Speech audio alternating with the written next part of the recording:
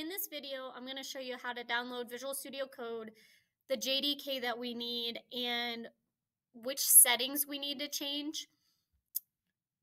If you do a Google search of Visual Studio Code, the first thing that'll pop up will have a download.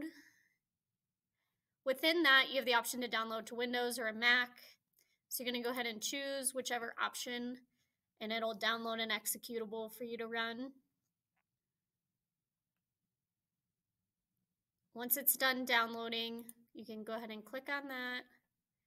And you have a window to pop up. Make sure like you can read through the agreement or accept the agreement. Then here, you could leave it just like this. So if you've already downloaded, that's totally fine. If you haven't, you can pick register code as an editor for, for supported file types. And then you can also create a desktop icon if you would like one on your desktop. And hit next, and then you'll select install. Mine's already installed, so I'm going to exit out of here. So then if we go to Visual Studio Code, you can either right click here and you're going to select run as an administrator, or you can do the same thing from your start menu. Mm-hmm. Go to more, run as an administrator. So because I'm on a school device, I'm just going to run it as normal and show you where the settings are through here. So once it's opened up, over on this left-hand panel, there's this like little puzzle piece looking thing that's for extensions. We're going to open that up. Now you should have like nothing installed in here. And so that's where you're going to add what's called the Java extension pack. And it should be the first thing that pops up. You'll have a little download button. Once you select download, um, you'll see a bunch of them will turn blue saying installing. Once that's finished installing, the next thing that you're going to look up is called Code Runner. And you'll do the same thing. You'll click on this, click install in the corner. Once it's finished installing, close out of Visual Studio Code and then you're going to right click again, run as an administrator.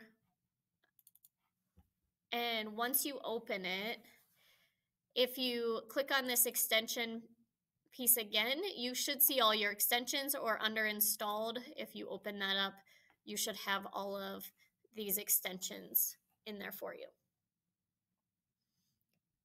Okay, the other thing that we need to do is we're going to change some other settings. So if we go we want to scroll down until you find Visual Studio IntelliCode and then click on the little gear at the bottom and extension settings. Then the one that's at the very top, um, completions enabled, that will be checked, so uncheck it. Okay, then you're gonna go to language support for Java it's the one that looks like a little coffee cup. And go to extension settings. And then the very top one that says Java Auto Build Enabled, that will be checked, so uncheck that one. And then you're gonna scroll just a little bit down your screen to where it says Java completions enabled, enable disable code completion support. So that one will be checked, so make sure that you uncheck that one as well. So then we're going to exit out of here for now.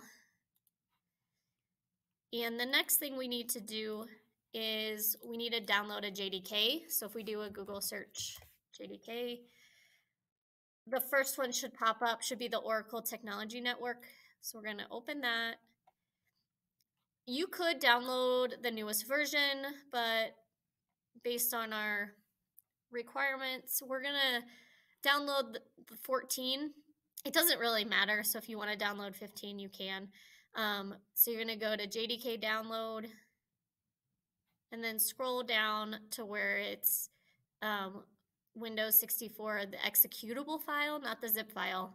And then you're going to go ahead, review that, and then download that as well.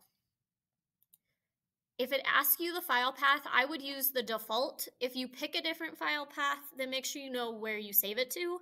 So that's why it's easy to use this the default file path because then I can tell you exactly where it is. So then the last thing in our settings that we need to do is go down to the start menu and start typing environment. And you should get edit the system environment variables. So then we'll go and actually download the code. So I'll do that in a separate video.